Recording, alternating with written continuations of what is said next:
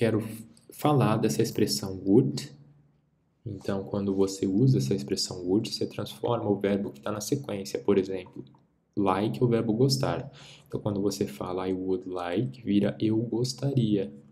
He would like, ele gostaria. You would like, você gostaria. She would like, ela gostaria.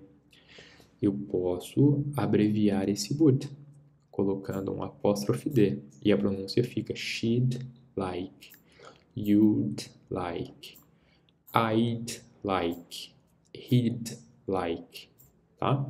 Então, se eu falo I'd like to get married, significa que eu gostaria de me casar. Se eu troco aqui por would, I would like to get married, eu gostaria de me casar. O significado é o mesmo. Então, would, ele é abreviado para apóstrofe D e a pronúncia fica I'd. A forma negativa seria wouldn't, que é o would um, abreviado com o not. Então, I wouldn't like to get married. Eu não gostaria de me casar. I wouldn't like to retire. Eu não gostaria de me aposentar. Ou I would like to retire. Eu gostaria de me aposentar. E eu posso acrescentar em quanto tempo eu gostaria dessas coisas. In the next five years, nos próximos cinco anos, I would like to retire. Eu gostaria de me aposentar.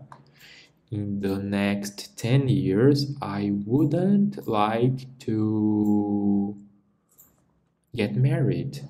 Nos 10 próximos anos, eu não gostaria de me casar. In the next the next two years, he would like to have children. Nos próximos dois anos, ele gostaria de ter filhos.